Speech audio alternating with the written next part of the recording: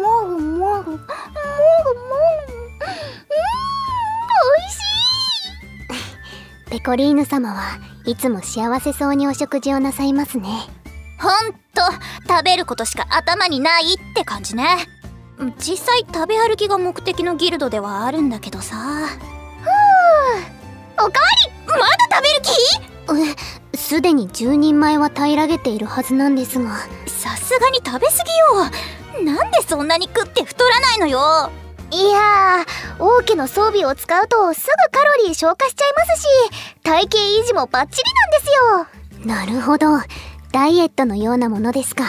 ダイエット？ねねえペコリーヌ。おや？キャル様？顔は隠されてどうなさいました？そのティアラ貸してねえな、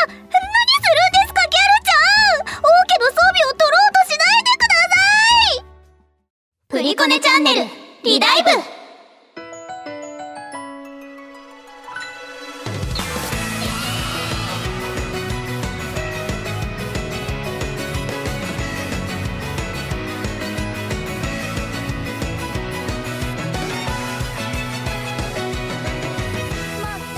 ラジオをお聞きの皆さんおいっすペコリーヌ役真央ですラジオをお聞きの主様おいっすコッコレ役伊藤美久ですラジオをお聞きの皆さんぶっこおいっすキャル役立花理香です。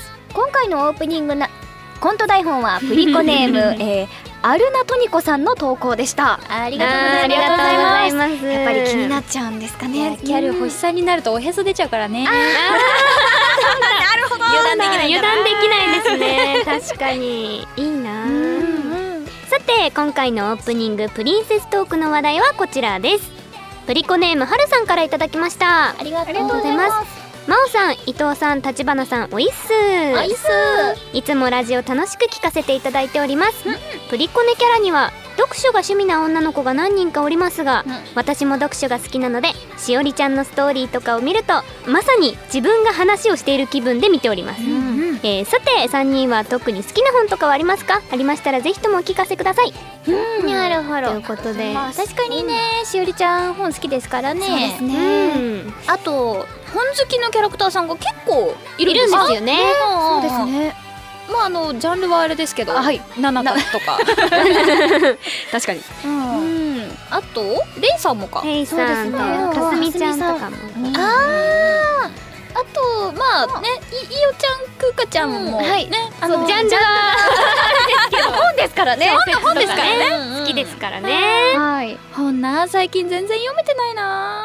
へえ私最近最近っていうか西加奈子さんが好きなんですけど作家のなんかよく読んでます最近ハマって。へうん。おすすめです女性作家さん。奈子さん。はい。はい。読もう読もう。うんうん。うん。えー、ということでこんな感じでゲームに関連して私たちにトークしてほしいリクエストプリンセストークのお題投稿お願いします。さてプリコネチャンネルリダイブこの番組はプリンセスコネクトリダイブの世界や魅力を余すところなくお届けするラジオ番組です。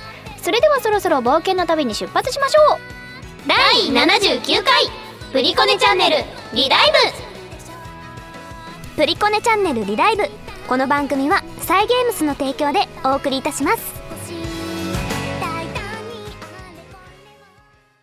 ブプリコネインフォメパート1ではここでゲームプリンセスコネクトリダイブの最新情報をお知らせします。ピックアップガチャのお知らせ。東山奈央さん演じるひよりちゃんの新年バージョンのピックアップガチャが現在開催中です期間中ピックアップガチャにおいてひよりちゃんの新年バージョンの提供割合がアップします。ピックアップ期間中のみ排出される期間限定キャラとなっておりますのでご注意ください。またこちらのキャラは今後再登場する場合がございます。そして1月22日よりプリンセスコネクトリダイブの LINE 着せ替えが配信中です。はいキャラクターたちが SD キャラで登場する可愛らしいデザインで LINE をプリコネ仕様に着替えさせることができます。またボイス付きの公式スタンプも好評配信中です。着せ替えと合わせて LINE をプリコネ色に染め上げてください。以上プリコネインフォメパート1でした。この後もゲームの最新情報をお伝えしますよ。お楽しみにちゃんのジングル。あなた様何を聞いているのですか？ラジオ？パーソナリティは女性3人？許せない。許せない。許せない。許せない。許せない。ごめんなさい。あのあ か隠れていや堂々と聞いてそうそう堂々と聞いてくれたらほら。そうそうだ、開き直りも重要だよ。重要だ。そうそうそう。しょうがない。改めましてパーソナリティのプリンセスコネクトリダイブペコリーヌ役バオです。パーソナリティのコッコレ役伊藤美久です。パーソナリティのキャル役立花理香ですさて今回前半のゲームに関するお便りの特集テーマは以前募集した失敗談です、うん。はい。いろいろありますからね、お伺いしていきましょう、プリコネームシルバーペンギンさんからいただきました。ありがとうございます。皆さんおいっす。おいっす。プリコネリダイブの失敗談ということで私がよくやってしまうのが編成時キャラを間違えてしまうことです。特に多いのが、えーピンクの髪の毛の初音とスズナです。ああー皆さんは編成するキャラを間違えたことありますか？これってプリコネあるあるじゃないですかね？ということです。はいはいはいはい初音ちゃんいないから間違わない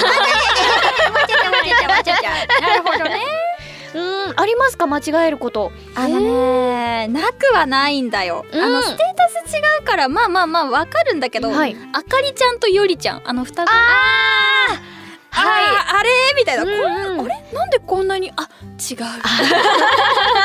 とかは間違えた。あるう私はメモリーピースを買うときにうんうん。間違えたことはありました。うわ辛い。わかります。ちょっとちっちゃくなってるから。あそこでハロウィンバージョンのかみやこあそうそう。かみたいななるほどね。そうえそこで私えっとうんうん。当初だったらもうやり始めた頃に、うん。ゆいちゃんと、うん。あのすずなちゃん。をうわー。ピンクだったんで。ピンクね。ピンク同士で。そこを間違えたことがありましたね。確かに、うん。よくよく見て確認しないといけないですね。うんうんあでも結果まだあのメモリーピースなんで。あそうそう。はい。あってね困ること困ることはなかった。大丈はい。ということで続きましてプリコネームハッチーさんからいただきました、ありがとうございます。まおさんりっかさんみっくさんおいっす。おいっす。おいっす。失敗談というとみつきさんを使い始めた頃によく失敗しました、うん。スキルローズフィールドで防御力を下げてくれるみつきさんですが、発動直前にユニオンバーストを使ってしまうとスキル発動がキャンセルされてしまうのです。貧乏症なせいかたまるとすぐに使ってしまうユニオンバーストですがこれに気づいてから考えて戦うようになりましたし、失敗から学んで強くなりました、PS みつきさんとありさちゃんしおりんの組み合わせはもはや平気並み。ほう。いいことを聞きましたね、確かにね。いやこれねわかる私も結構「いやたまったよっしゃー!」って言っちゃうんですけど、うんあのそれこそ私秋野さん結構お世話になってるんですけど、はい。あのおほほほってやった後にそのカウンター、はい。やられたものをこうやり返してくれるんですけど、うんうんうんそれをこうおほほほってやってる間にユニオンバスター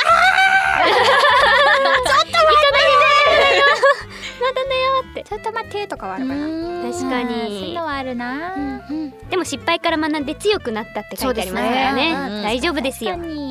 えー、続いてプリコネーム佐藤さんからいただきました。ありがとうございます。えー、まおさんみくさんりか様おいす。おいす。自分のゲームでの失敗談はクランのサポート設定でクランバトルルナの塔のサポートキャラの設定をし忘れていたことです、うん。ちゃんとサポートキャラを設定していればマナーを大量獲得できていたのに設定していなかったがためにマナーをクランバトルルナの塔開催期間中に手に入れることができませんでした。皆様このような経験はありますか？うん。あります。あります。最初らへんとか特に忘れてました、わかるね。すごいあのクランバトルに夢中になってうん。あああって そういえできてなかったまだ設定みたいな。そもったいない通りでマナに困ってるはずだ。ってなりましたば確かに。あるあるですね。そうですね。ではでは続きましてプリコネーム船橋のシャーサクさんからいただきました。ありがとうございます。プリコネでの失敗談を募集しているとのことで一つ思い出したので投稿します。ありがとう。僕は装備を集めてキャラクターに装備させるときに主力メンバーは必ず装備を限界まで強化しますある日ミミちゃんの装備が揃ったので大喜びでランクアップをしランクを上げました。それが失敗だったのです。ある程度装備を強化した状態でランクを上げると戦力が下がってしまうのです、それをすっかり忘れていました。今は全ての装備が集まっていますが押した瞬間は「あー!」と声が出てしまいました。っていうことです、ね、いやーこれこれは。確かにもう、うん。うん、しょうがない。しょうがないそうでもほらね装備は集まるから。そうあ結果集まりますから頑張れば。一一時一時ちょっと下がるだけだからね。大丈夫だよ。でね。失敗じゃないですよ。うんうん。うんうんじゃあ続きましてプリコネーム岡部さんからいただきました。ありがとうございます。美食殿の皆さんおいっす。おいっす。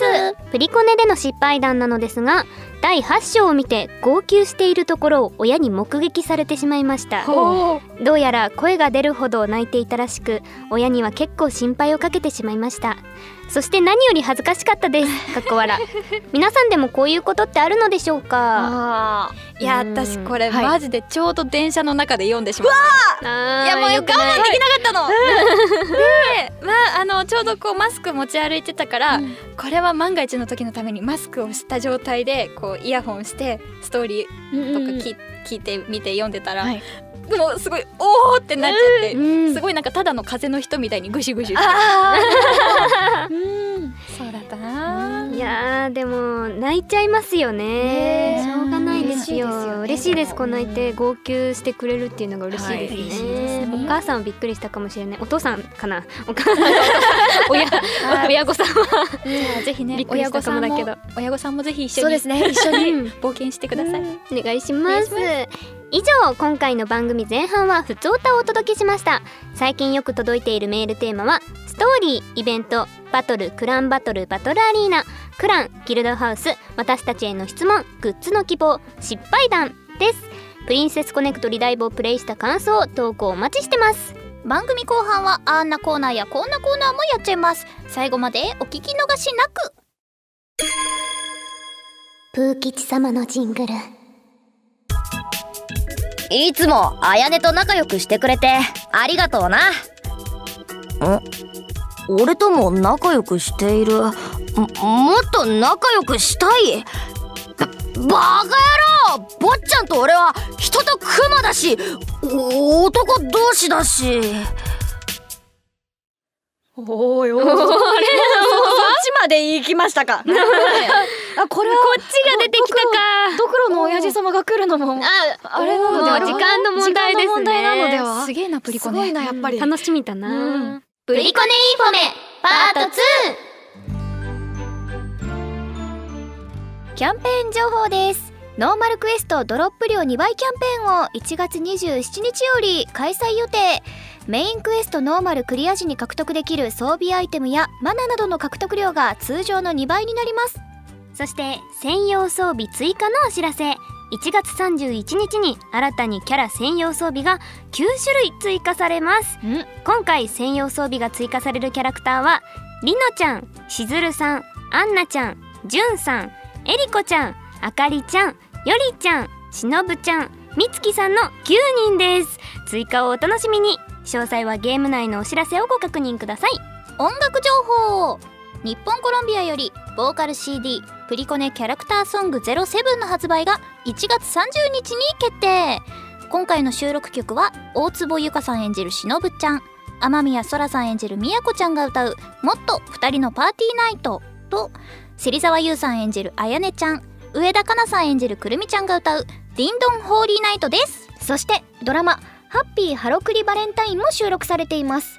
今回はドラマを少しお聞かせしちゃいますよ。どうぞ。クリスマスはパーティーをしたり親しい方にプレゼントを贈ったりするんですよ。んなんでお前こっちを見てるの？もしかしてプレゼントが欲しいの？ああのじ実は私あなたにもプレゼントが。しょうがないな。みやこは優しいからお前にもプレゼントをあげるのほらありがたく受け取るの。それはプディンのカップ？でしょうか？こいつにプリンをあげるのはもったいないからエアプリンをあげることにしたの。エアプリン？それはプレゼントと呼べるのか？要は気持ちの問題なの。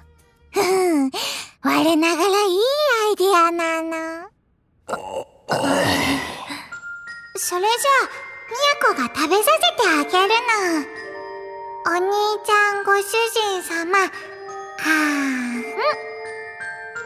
美味しいの？よかったの。これはみやこの手作りなの。お兄ちゃんご主人様のために頑張って作ったの。お、お兄ちゃんご主人様の口の周りにプリンがついているの。みやこが取ってあげるの。みやこさんすごい中身の入っていないプリンをまるで本物みたいに食べさせてる腹は膨れねえだろうがなお兄ちゃんご主人様って何なんでしょうか？いやー。エアプリンか。みやこやるな。ありますいやねー。さすがです。さすが。ー。うん。と好き。もう早くもう早く全部聞きたいですね。はいということで以上プリコネインフォメパート2でした。ではここで一曲お聴きくださいディンドンホーリーナイト街の空気も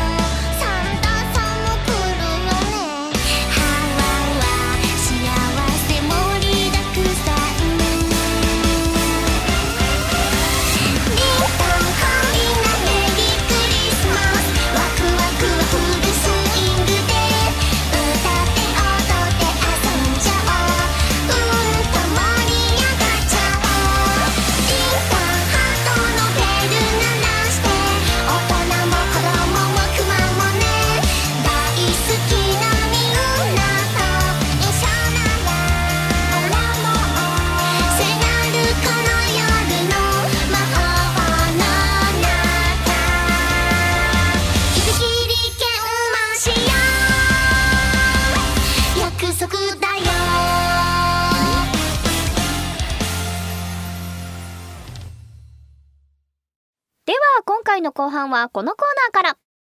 プリコネ大喜利。こちらはいわゆるネタ投稿コーナーです。今回はお題こんなダンジョンは二度と行きたくないどんなダンジョンの特集です。はい。ね。本当に嫌なダンジョンばっかりですからね。ねうん。うん。いきますよ。プリコネーム新田さんからのこんなダンジョンは二度と行きたくないどんなダンジョン？クリアしても何も報酬がもらえないえー、行く？意味？行く意味が。なんだろうね。やだ。えーじゃあ続きまして、プリコネームハッチーさんからのこんなダンジョンは二度と行きたくない。どんなダンジョン？ギルド管理協会とのバトルがあり負けると女神の秘跡にされてしまう。えー、そうだ遺跡になっちゃう。石になっちゃうの。星さん絶対連れていけない。どうしよう。ダメだ。ダメダメえー、続いてプリコネームハッチーさんからのこんなダンジョンは二度と行きたくない。どんなダンジョン？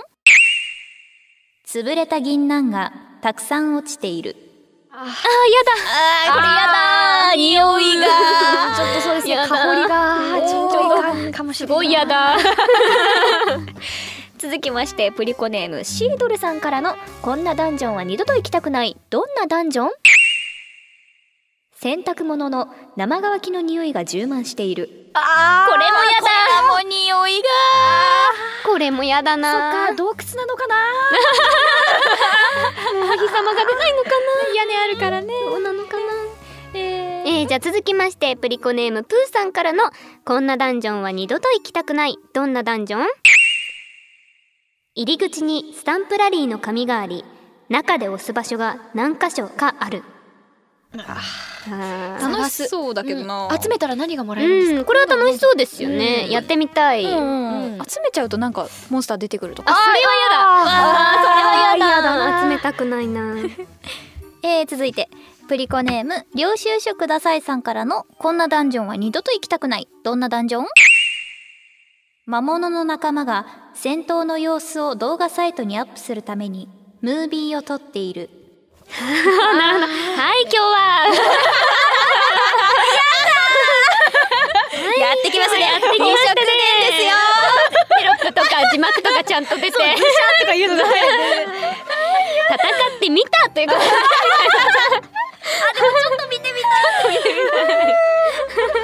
面白そう。ではでは続きましてプリコネーム岩尾さんからのこんなダンジョンは二度と行きたくない。どんなダンジョン？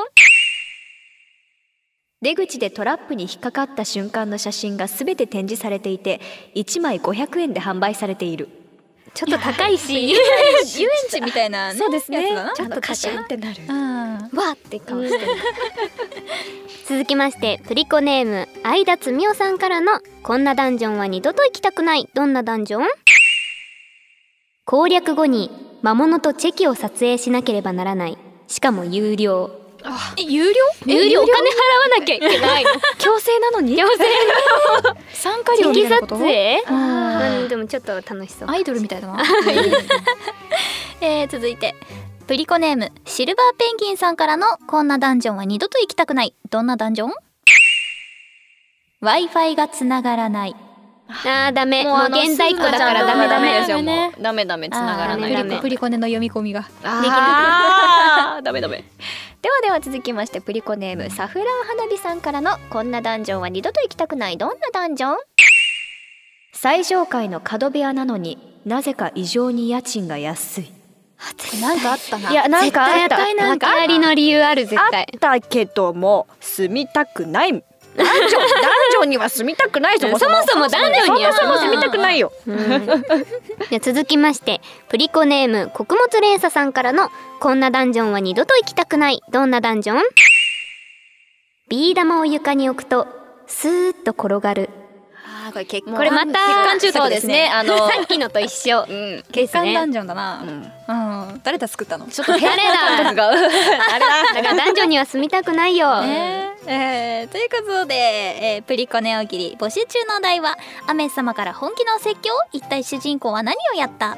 こんなダンジョンは二度と行きたくない。どんなダンジョンこんな二つ名は嫌だの3つです、えーそろそろお題も入れ替えの時期なので、おえー新しいお題を思いついたら答えもお題も投稿お待ちしております。はい。ということでさて続いてはお待たせいたしました。ゲームをプレイしていて真央さん演じるペコリーヌに褒めてほしくなったエピソードを送っていただくペコリーヌちゃんに褒めてもらおうです。よっしゃ褒めるぞ来ました。えー、プリコ 気合が入ってますね今日は。プリコネームさざ波アライグマ定食さんからいただきました。ありがとうございます。真央さんリカさんミックさんおいっす。おいっす。ついについに自分の中で目標にしていたクエスト60キャラ獲得しようを達成しました。おめでとう。えーサービス開始から始めてやっと到達です、とーっても嬉しいです、この達成感を誰かに伝えたくメールしました。やりました、次の目標は星5を60キャラ目指して頑張ります。はい。かっこまだ39キャラしか星5はいません。いやすごいけど。まだまだじゃないよ。すごいんですけど。すごいな水着ペコ最高。と書いてあります。これえ一括？逆に？逆に？そうですよね。まだ？39キャラすごいですよ。い。やしかもこのメール普通オタに届いてるメールだったんですけどいや褒めて欲しかろうということで。そう。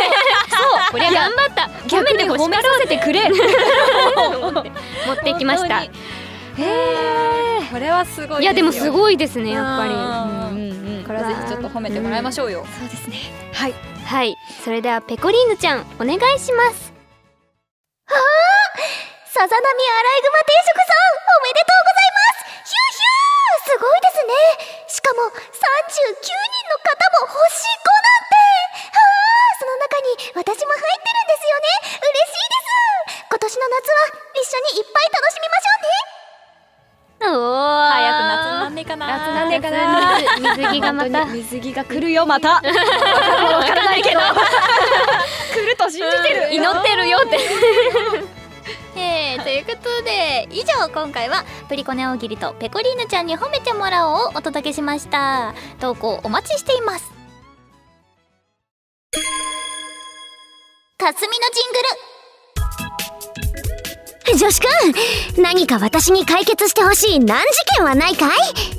あ？ある？うんかすみちゃんに依頼する難事件を探してほしい？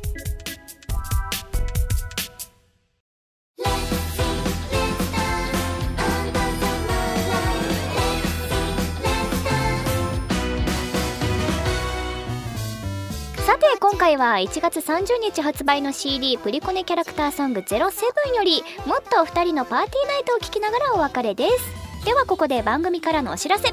プリンセスコネクトリダイブアプリ配信1周年を記念してお便りの募集を行います。イエーイ。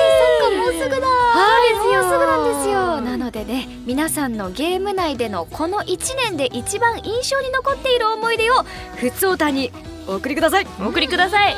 いろいろありましたからね。そうですね。もう2月15日か。はい、そうです。なので皆さんたくさんのお便りお待ちしております。よろしくお願いします。詳しくは響きラジオステーションの投稿フォームを参照してください。投稿心よりお待ちしています。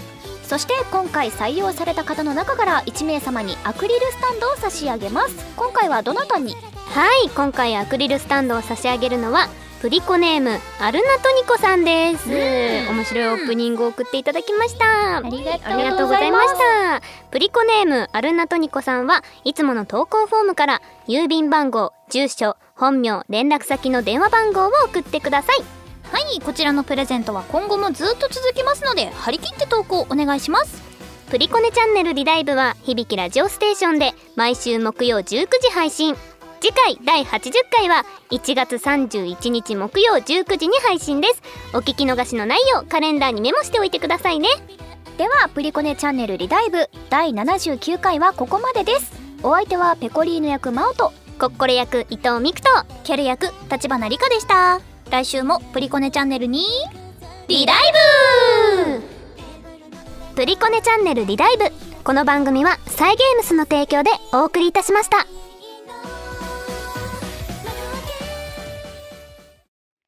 はい。お疲れ様でした。オープニングで話してた読書の話なんですけど、はい。ちょっとお二人のも聞きたいなっていうのでそうね。最近読んだ、まあ、雑誌でも漫画でも、まあ、最近あの電子書籍がね、はい。うん多いですからね、うんうんうん読みやすくはなりましたけれども、はい。確かに。何見てんだろうな。なんだろうな。私は最近はですねうんうん。あの海外映画雑誌。お おえおしゃれ！そう映画にハマってその映画の作品のとかを、うん。あのななんだろうあの履歴とかでこう頼んだらおすすめしてくれたりとか。そう。そうそうですそうです、へー。でも面白そう。う面白いです。インタビューとか見てその時のなんかこの衣装での写真とか見て、えーってなってます。面うんえすごいいいななそういうの。読んだことないかもしれない。へえ私でももっぱらあれだな。読むって言ったらもうニュースばっかりかも、おー。えうんうん。かっこいいへーかっこいい。ごめんインテリ。スポーツスポーツニュースですね、立花様だすごい気になるんだよいろいろちゃんと活字読まなきゃですね、ではでは皆さん次回も聞いてくださいねバイバイ19時配信次回第79回は1月24日木曜19時に配信ですお聞き逃しのないようカレンダーにメモしておいてくださいね。ではプリコネチャンネルリダイブ第78回はここまでです。お相手はペコリーヌ役マオとコッコレ役伊藤美久とキャル役立花理香でした。来週もプリコネチャンネルにリダイブ！プリコネチャンネルリダイブこの番組はサイゲームスの提供でお送りいたしました。お疲れ様でしたいやでも移動時間2時間ってすごいですよね。ねえ本当頑張って通ってるんだな。うん。いやでもさ2時間同じ電車もさ大変だけど、はい。私たち結構ちょこちょこ乗り換えがうん。あったりするじゃないですか、はい。い、ろんなとこ行くから、うん結構ミスりましてね。あの仕事でちょっとうまくできなくてはあって思いながら移動してた時に、はい。完全に無意識に自分の家に帰る電車に乗り換えててもう帰りたいってなっちゃったね。頑張って私っていやでもありますよね。うん。なんかいつもこういつも結構行ってる場所に行く電車に乗りすぎて、うんうんこう同じ駅でも違うホームに乗らなきゃいけない日とかにそのまま足が無意識にいつも行ってるホームに行っちゃうこととかあるね。あるんですよね。うん。いっぱいホームがある駅だと。確かにはい。確かに、ありますねあと乗り換え楽にしたくて乗り換えは多分こっちの方が楽だったっていう方と真逆だった時とか。いや本当に。ちゃんとアプリで調べれば出てくるのに見るの忘れたみたいなことありますよね。長いんや。長い。では